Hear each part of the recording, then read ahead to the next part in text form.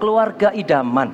Ya, uh, ada hikmat Tuhan di dalam renungan pada pagi hari ini. Saya percaya ada berkat juga bagi setiap kita. Firman Tuhan itu relevan dalam setiap hidup kita nggak dimakan zaman dulu sekarang sampai selamanya seterusnya pun kebenaran itu tetap untuk selama lamanya firmanku tetap untuk selama lamanya sekalipun langit bumi berlalu kata Tuhan katakan amin sekali lagi ya ada satu ayat di dalam Alkitab yang saya mau kita baca bersama menjadi pengantar bukan menjadi ayat utama tapi ini menjadi pengantar supaya kita dapat memahami bahwa pernikahan itu adalah tujuan utama ya dari Tuhan atas hidup manusia, Bapak Ibu Saudara sekalian. Kita buka ayatnya di dalam Kejadian 2 ayat 18. Kejadian pasal 2 ayat 18 Firman Tuhan berkata demikian. Baca dengan saya ya, hitungan ketiga, satu, dua, tiga. Tuhan Allah berfirman, tidak baik kalau manusia itu seorang diri saja. Aku akan menjadikan penolong baginya yang sepadan dengan dia. Amin. Bolehkah um, apa melampai ke tangan setengah tiang gitu sini. Adakah jemaat yang masih single di ruangan ini? Ini ayat buat kita semua ya. Saya mau berdoa ada porsinya Anda. Ada? Mungkin nggak banyak, tapi ibadah satu tadi ada. Pasti ibadah umum dua ada. Lihat dia berfirman mendengarkan suaranya. Tidak baik kalau manusia itu seorang diri. Tuhan menyediakan, Tuhan memberikan penolong bagimu yang sepadan denganmu. Itu rencana Tuhan, itu hati Tuhan. Sejak Adam dan Hawa, Bahkan dilanjutkan sejak Nuh pun dia memulai kehidupan baru dia berjanji tidak akan meng, me, apa, menghukum manusia dengan air bah lagi. Itu kan berdua-berdua, couple-couple. Jadi pernikahan itu idenya dari Tuhan, Bapak Ibu Saudara sekalian. Sebab itu Anda yang masih single, dengarkan firman Tuhan. Ada hikmat Tuhan yang indah bagi setiap kita. Sebelum saya masuk ke dalam poin bahwa membangun keluarga yang idaman, idaman hatinya Tuhan. Karena uh, kalau sebuah benda diciptakan itu pasti dengan maksud tujuan, fungsinya. Betul apa betul? Kalkulator diciptakan untuk alat hitung, komputer diciptakan. Kalau kita mau tanya pada yang menciptakan, komputer diciptakan untuk apa? Untuk membantu banyak kehidupan kita, kerjaan kita manusia di jam sekarang ini. Ya, tak terkecuali juga dengan keluarga. Kalau ibu-ibu di sini mau masak ayam goreng yang crispy yang enak gitu, seperti Kentucky itu, Ya kita mungkin perlu kali ya untuk tanya pada Kolonel Sanders bagaimana resepnya untuk membuat masakan ayam goreng itu crispy dan yummy. Nah, pun demikian dengan keluarga pernikahan. Kita harus dengar-dengaran kita harus tanya kepada Tuhan yang punya ide. Bagaimana pernikahan itu adalah tujuan Tuhan atas setiap kehidupan kita. So dengarkan baik-baik hikmatnya uh, jemaat yang masih single is for you ya. Nasihat buat ketika kita mau in relationship dengan seseorang bahkan sudah in relationship mungkin sekarang ada beberapa mungkin sedang in relationship dan sedang OTW menuju pada pernikahan yang diberkati yang dikuduskan bagi Tuhan. Ada hikmat praktis. Yang pertama, satu, menikahlah dengan orang yang mengasihi Tuhan. Itu penting. Karena orang yang mengasihi Tuhan, orang yang mengalami perjumpaan pribadi dengan Tuhan tak pernah sama. Fokus hidupnya berubah tidak dirinya lagi self center tapi Christ center semua yang dilakukan hanyalah untuk menyenangkan hati Tuhan sebagai penyembahan dia kepada dia. Ya kepada penyembahan orang single tadi kepada dia kepada Tuhan yang mempunyai hidup dia ya menikahlah karena kebahagiaan itu tidak pernah tercipta di luar Tuhan yang ada di dunia ini hanyalah kesenangan happy orang sebut Kesenangan itu sesaat, sementara saja. Berapa lama pasti senang, mungkin dapat barang baru, produk baru, dapat sesuatu baju baru, mobil baru, mainan baru, apa semua game baru. Kita senang, tapi berapa lama sih kita senang? Sesaat saja, sementara. Tapi sukacita dari Tuhan itu, the joy of the Lord is my strength. Sukacita itu buah roh, bersifat kekal. Bapak Ibu Saudara sekalian, kebahagiaan itu yang sejati di dalam Tuhan. So cari, menikahlah dengan orang yang mengasihi Tuhan. Apa artinya?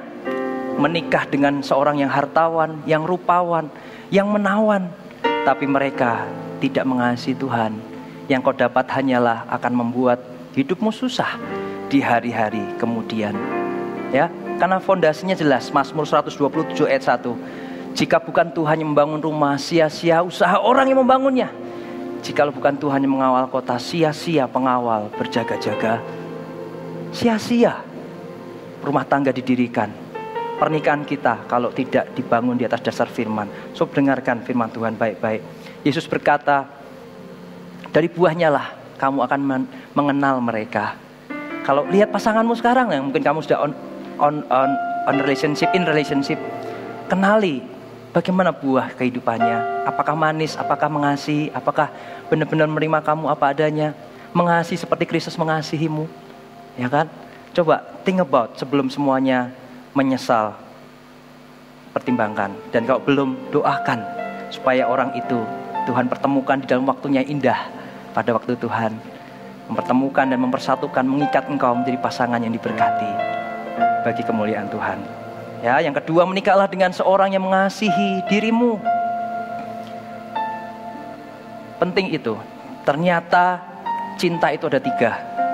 Kalau kasih itu ada beberapa, agape, eros, torge, filia gitu kan. Tapi cinta itu ada tiga ternyata. Yang pertama, cinta jika. Prasyarat, kalau kita sekolah dulu kan pernah ngambil mata kuliah apa yang bersyarat. Prasyarat ada prasyaratnya. Akuntansi dua ya harus ngambil akuntansi satu atau pengantar akuntansi mau ngambil matematika integral gitu ya harus ada pengantarnya matematika satu atau apa gitu kan. Ada prasyaratnya. Ya cinta jika jika kamu mau begini mau begitu jika apa uh, mau begini mau begitu jika kamu ini itu banyak syaratnya. Lalu uh, cinta karena. Jadi syarat karena dia cantik karena dia seksi karena dia ganteng dia keren dia kaya. Karena karena syarat. Tapi ada cinta yang benar tanpa syarat, yaitu cinta apa pun, cinta tanpa syarat. Jadi itu yang komitmen, berkomitmen untuk mencintai apa pun, kondisi apa pun adanya. Seperti kasih Tuhan menerima kita apa adanya. Haruslah pasanganmu pastikan mencintaimu. Ya, apa pun tanpa syarat. Yang fokusnya bukan diri sendiri. Efesus 5 ayat 33 berkata, bagaimanapun juga. Kata bagaimanapun juga itu penting. Jadi tanpa syarat ya. Bagi kamu masing-masing berlaku kasihlah istrimu seperti dirimu sendiri dan istri hendaklah menghormati suaminya. Karena kasih Allah telah dicurahkan pada kita maka kita dimampukan untuk mengasihi pasangan kita seperti Yesus mengasihi kita. Jika mereka dia tidak mengasihimu, pertimbangkan. Cari kalau belum dapat nanti temukan dalam anugerah Tuhan pasangan yang mencintaimu, mengasihimu ya. Yang ketiga menikahlah dengan seorang yang mengasihi dirinya sendiri kemudian. Karena seorang itu harus gambar dirinya harus bersih, harus benar, pulih. Karena seseorang nggak gambar dirinya pulih, dia akan banyak menuntut, capek hubungan dengan orang yang gitu, banyak tuntutan. Justru dasar hubungan itu kasih, kasih itu dasar penerimaan. Ya, tapi kalau tuntutan dasarnya penolakan kita menolak pasangan kita nggak terima karena dia harus berubah dalam satu area kehidupannya. Ya kan? Kita menuntut karena kita minta dia berubah. Bukan begitu prinsipnya. Berubahlah diri kita, membaruan budimu, kita membedakan apa yang kehendak Allah, apa yang baik, yang benar dan berkenan. Kita akan bisa menjadi pelengkap buat pasangan kita sehingga keindahan Tuhan nyata di dalam setiap kita. Katakan amin. Saya lanjut, ini pesan sedikit agak ditarik mundur sebelum saya berbicara tentang keluarga idaman. Ya, biar semua jemaat di dalam segala usia dapat berkat dari Tuhan. Ya. Buka dengan saya firman Tuhan di dalam Kolose pasal yang ketiga ayat yang ke-18 sampai 21. Nah, ini ada hikmat Tuhan untuk kita sama-sama membangun sebuah keluarga yang idaman yang Tuhan kehendaki. Semua ada kuncinya, ada tertulis dalam firman Mari kita menyelidiki, mari kita mengerti dan memahami. Sehingga kita akan mengecap, oh surga di bumi, bukan neraka di bumi. Seperti yang Tuhan ajarkan pada kita berdoa, doa Bapa kami di bumi seperti di surga. Terjadi di dalam rumah tangga, keluarga pernikahan kita. Katakan amin jemaat.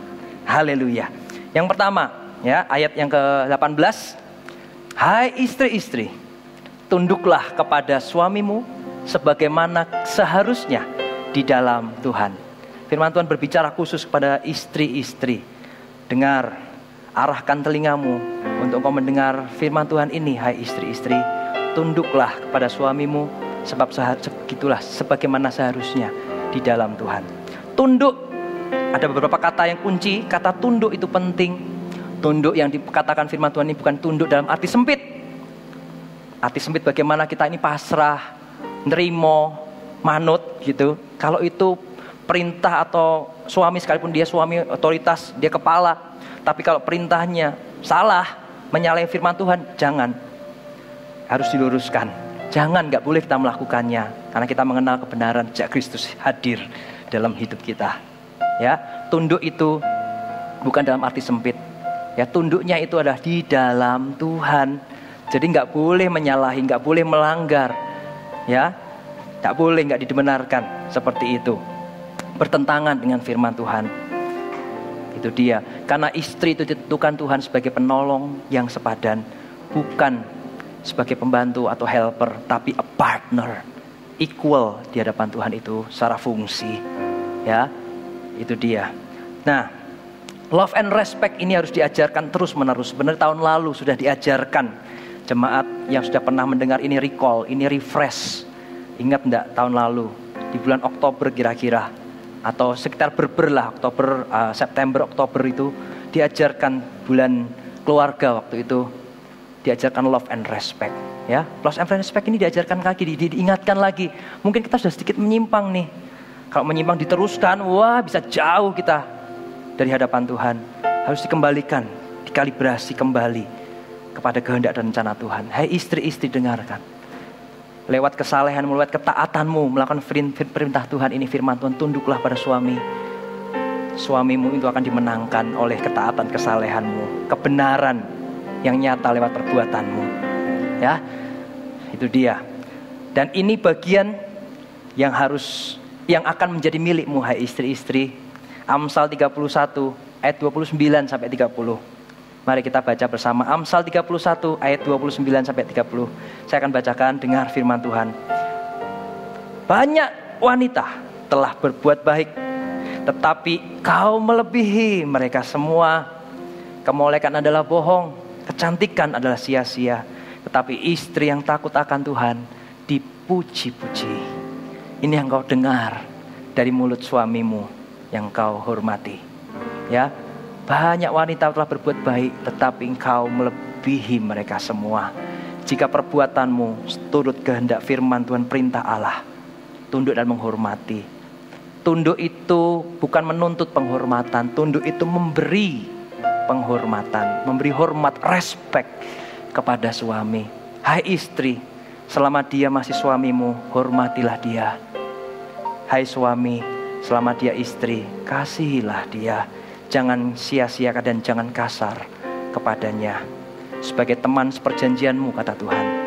Ya, dan segala sesuatu dalam dunia ini kalau tidak dimaintain kualitasnya akan turun. Pun demikian dalam hubungan suami istri, dalam keluarga. Jika mau membangun keluarga idaman, Firman ini berbicara khusus pada istri. Harus di-maintain. Gimana hari ini? Gimana seminggu berlalu? Apakah tetap tunduk yang benar di dalam Tuhan? Atau tanduk suami? Istri kalau nggak tunduk artinya menanduk. Berapa banyak kita dengar cerita, kita lihat bahkan dengan mata kepala. Banyak suami-suami takut istri. Jangan-jangan di rumahnya suaminya ditanduk terus dari kepalanya keluar tanduk kita mungkin lihat uh, sebuah gambaran seperti itu. Karena istrinya nanduk suaminya terus sehingga jadilah suami yang takut istri. Tidak berperan, tidak berfungsi, nggak mengambil tanggung jawab, inisiatif.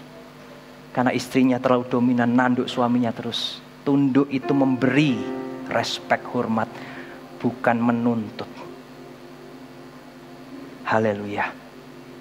Haleluya. Prinsip yang kedua. Ayat selanjutnya, ayat 19. Hai suami-suami, kasihlah istrimu dan janganlah berlaku kasar terhadap dia. Kita tahu sih firman Tuhan ini, tapi apakah kita konsisten melakukannya? Firman minggu lalu kita dengarkan, perintah lama kita tahu mengasihi orang seperti diri sendiri itu hukum yang terutama sesudah mengasihi Tuhan. Tapi Tuhan memberi perintah baru yang lalu kita dengar minggu lalu yaitu mengasihi, saling mengasihi seperti aku mengasihi kamu, seperti Kristus mengasihi kita. Artinya apa, hai suami-suami? Mengasihi istri seperti Kristus mengasihi jemaat gereja. Tuhan Yesus mengasihi kita dengan memberikan nyawa. Yang terbaik, apa yang lebih berharga daripada nyawa? Nyawa aja diberi. Nggak ada yang lebih baik, Tuhan sudah memberikan segala-galanya. Apa yang kau beri? Kau masih tahan-tahan, kau tidak sepenuh hati. Kau masih membanding-bandingkan dengan yang lain. Dan semuanya dan semuanya. Itu jahat di mata Tuhan. Hai suami-suami, hai pria-pria. Jika kau in relationship dengan pasangan, dan kau mengungkit-ungkit pengalamanmu yang lalu dengan pasangan yang lain, jahat di mata Tuhan. Karena pasanganmu itu berharga dan mulia di mata Tuhan dan di hati Tuhan. Perhatikan bagaimana engkau hidup. Kasihi mereka seperti Kristus mengasihi gerejanya, jemaatnya. Bagaimana mengasihinya? Dia melakukan yang terbaik, dia memberikan yang terbaik. Motivasinya benar, tulus, murni. Untuk menjaga demi keutuhan keluarganya semua dipertaruhkan, dikorbankan. Dia rela berkorban. Apa yang kau korbankan, hai suami-suami sampai hari ini? Nyawa pun belum. Tapi semua itu layak untuk diberi buat pasangan seperjanjian kita. Yang padanya kita berjanji setia sampai maut memisahkan. Jika kau belum mati, belum setia. Karena kalau sudah mati barulah itu setia sampai akhir.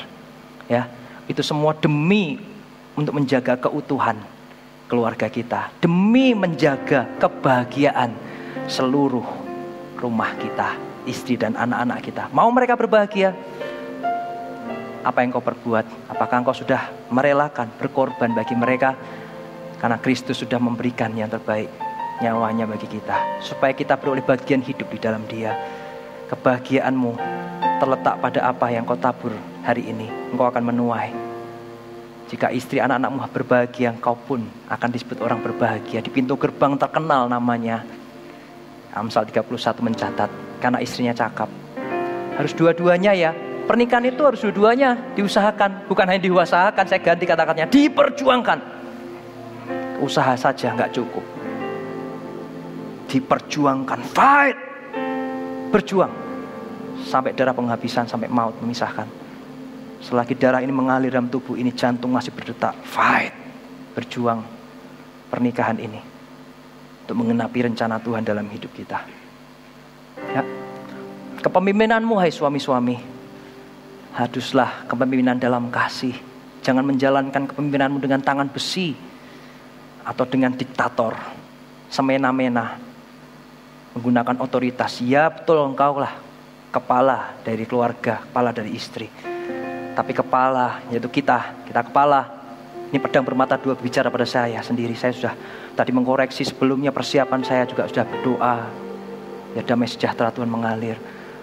Sempurnakan aku terus bentuk ya Tuhan supaya aku juga menjadi teladan. Kita sama-sama ini firman juga berbicara dalam hidup kita semua. Ya kan? Itu dia. Pemimpinan kita nggak boleh dengan semena-mena. Harus dalam kasih Apakah kita menjadi suami yang terus mau dimengerti? Tapi kita tidak mau mengerti. Bagaimana seminggu, sebulan, setahun ini? Apa kira-kira perkataan yang keluar dari mulut bibir lidah istri kita? Apakah keluhan?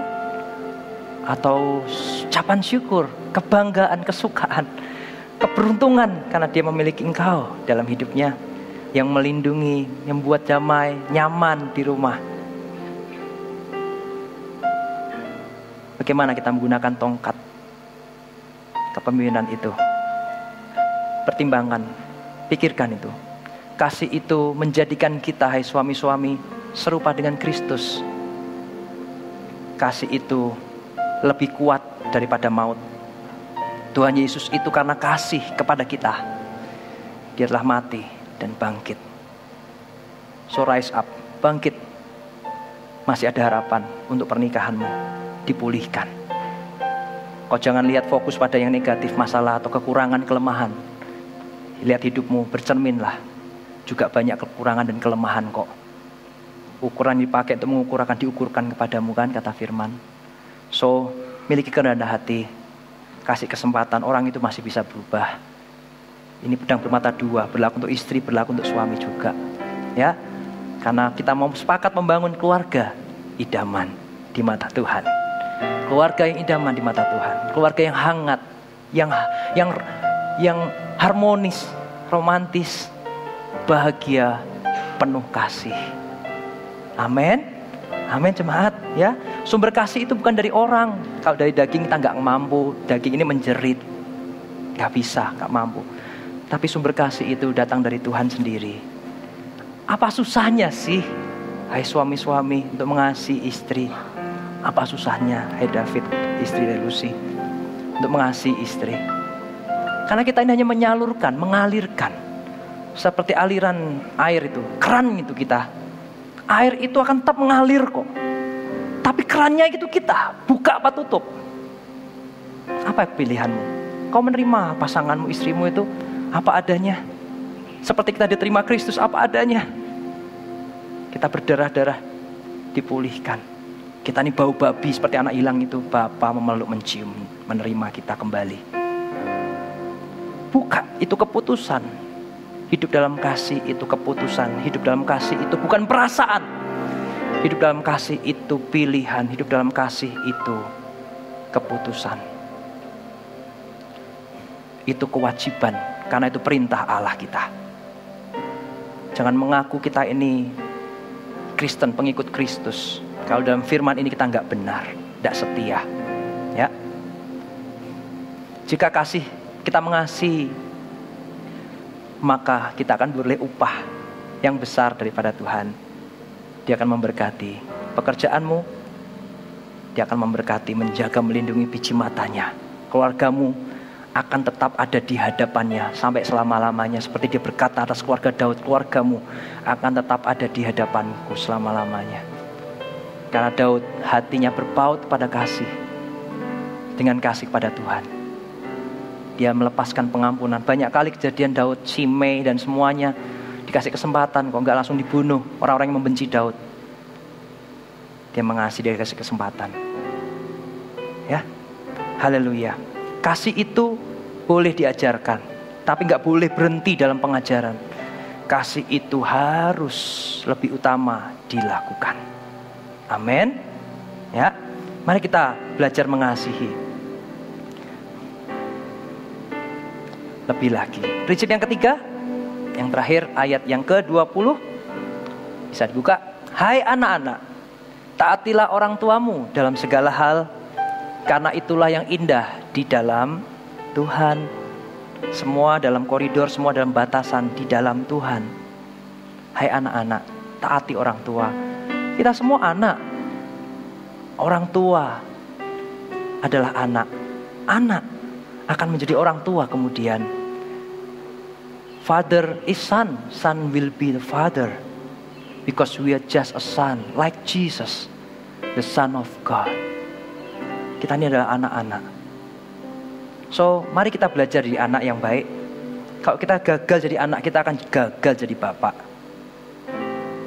Mari kita belajar untuk menganakkan diri dengan otoritas yang Tuhan taruh di atas. Itu akan baik menjaga kita hidup di dalam Dia, berjalan bersama dengan Dia, menggenapi rencana, tidak ada ya penyesalan di dalamnya. Kebahagiaan belaka, kebaikan kemurahan belaka akan mengikuti sepanjang umur hidup kita.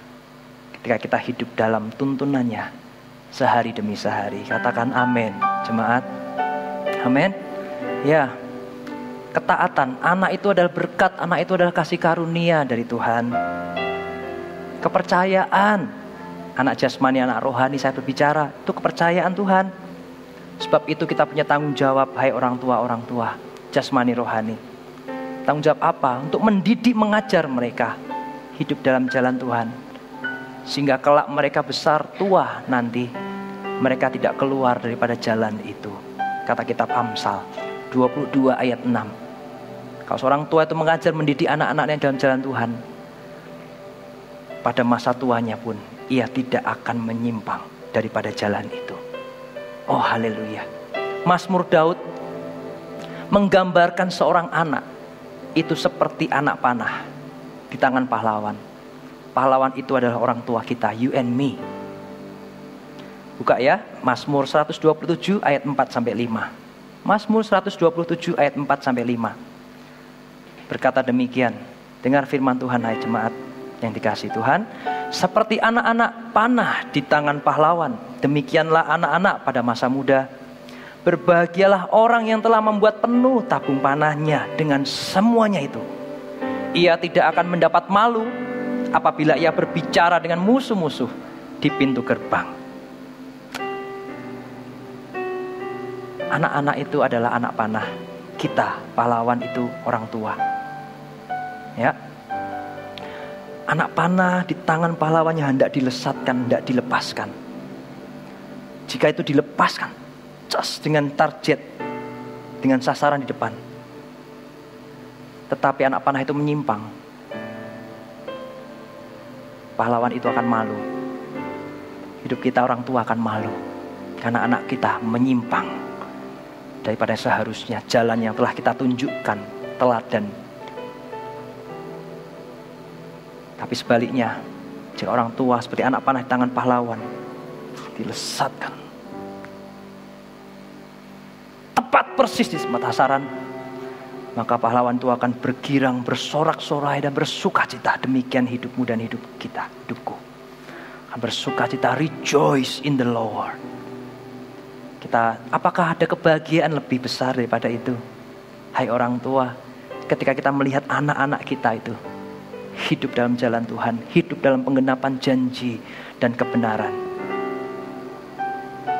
Saya senang sih mendengar melihat beberapa atau banyak orang tua yang memberikan yang terbaik, bekerja dengan keras gitu, memberikan pendidikan yang terbaik, makanan yang terbaik yang bergizi. Les-lesan pun dijabani, ditambahkan pengetahuan, keterampilan mahal itu. Tapi mereka bayar untuk anak tapi dengarkan hai orang tua. Hal itu baik. Puji Tuhan kau diberi sumber daya untuk itu. Ada banyak orang tua nggak bisa. Tapi kalau keluargamu anakmu dapat bersyukur untuk kasih karunia. Tapi jangan lupa, jangan lewatkan yang terutama. Bahwa karakter, bahwa integritas, bahwa hidup dalam takut akan Tuhan itu jauh lebih penting daripada kepintaran atau pengetahuan semata. Berapa banyak berita kita dengar di sosial media. Anak-anak itu pinter sekali, cerdas, jenius bahkan. Tapi kepintarannya di satu bidang satu faks itu eko apa el, uh, apa kimia, fisika atau apa, tapi dia pakai untuk membuat bom bunuh diri, melukai, menghancurkan lingkungannya. Berapa banyak dia pintar dengan data, dengan matematika, dengan akuntansi, dengan semuanya ekonomi. Berapa banyak orang itu, anak itu. Jika tidak memiliki karakter, kebenaran di dalam batin, mereka akan menjadi koruptor. Mereka akan menjadi penipu ulung, merugikan banyak perusahaan dan orang dipertaruhkan hidupnya karena kesalahan satu anak manusia ini yang tidak hidup dalam kebenaran. So, jangan lupakan yang terutama, dilakukan yang firman yang satu, dilakukan firman yang lain jangan dilupakan. Yang terutama justru parenting yang terbaik adalah lewat keteladanan hidup. People do what people see, right?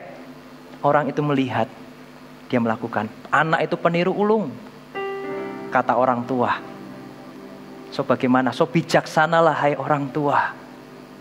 Bagaimana dengan kata-kata kita? Bagaimana dengan sikap perilaku, respon hati, keputusan-keputusan yang engkau buat? anak-anak itu peniru ulung. Dia akan menjadi seperti like father, like son. Seperti bapaknya apa, demikian anak-anaknya. Oh anaknya itu, ya pantas. Tapi tidak demikian dengan jemaat yang dikasih Tuhan. Tuhan berbicara dalam hidup kita orang tua. Untuk mendidik mengajar mereka dalam jalan Tuhan. Dengan menjadi teladan. Supaya mereka kelak besar tua pun tidak menyimpang daripada jalan itu. Katakan amin. Orang tua itu adalah guru. Orang tua itu adalah panutan. Guru itu digugu dan ditiru. Panutan itu contoh teladan. Bijaksanalah. Semua seluruh kehidupanmu itu adalah suatu informasi yang ditangkap oleh anak-anak. Ya.